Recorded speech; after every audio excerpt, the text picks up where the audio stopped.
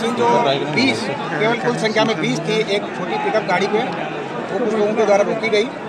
और ये कन्फ्यूज़न हुआ उन लोगों में कि ये पोल्ड ईवीएम तो नहीं है।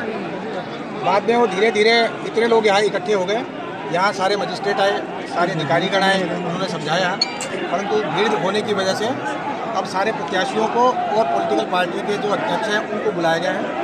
कि स्पष्ट कर लें, जो ईवीएम ले जाई जा रही थी, वो ट्रेनिंग की थी। मेरे पीछे ये कंट्रोल रूम है, पूरा का पूरा जो स्ट्रॉन्ग रूम है ट्रेडिंग है। इसकी बैरिकेडिंग को ब्रीच करने का मतलब नहीं होता है। जो बाकी ईवीएम्स हैं, उनके स्ट्रॉन्ग रूम उनके गोडाउन अलग हैं।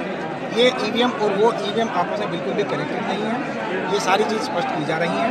यहाँ पे कुछ लोगों का आरोप है कि कुछ अधिकारियों ने सख्ती की तो उसकी भी हम जाँच करवा लेते हैं कि कोई सख्ती की बात हुई भी नहीं हुई। हालाँकि यहाँ पे सारे लोग इकट्ठे हैं और बातचीत है। अब सारे प्रत्याशियों को बुलाया गया है। और सारी जो मशीनें इलेक्शन के दिन गई थी, जिनमें पोलिंग हुई है, उस सब की लिस्ट उनको जो मेल से भेजी गई आज दोबारा हार्ड कॉपी दी जा रही है। जो ये 20 मशीनें हैं, ये अभी अलग ही हैं उस गाड़ी पे। उनके सारे नंबर उनके साथ मैच करवा के दिखा दिए जा रहे हैं कि ये मशीन उन लिस्ट में नहीं है जो पोल पे गई थी। ये प्रशिक्षण की मशीनें अलग होती हैं, प्रशिक्षण के नंबर हैं, जिनके प्रशिक्षण पहले काउंटिंग के पोलिंग के दौरान हुए थे, वही काउंटिंग के दौरान हो रहे हैं।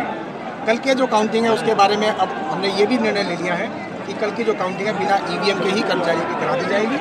फ़र्स्ट काउंटिंग में कुछ उनका एक्सपीरियंस ऑलरेडी हो चुका है। बाकी परसों जब वो काउंटिंग के लिए आएँगे घंटा पहले ईवीएम वाला प्रशिक्षण दोबारा अंदर ही हाल में डेमो के माध्यम से प्रोजेक्टर के माध्यम से दे दिया जाएगा। ये भी निर्णय ले लिया गया है। इन लोगों का आरोप है सर कि गाइडलाइन का वायलेशन किया गया।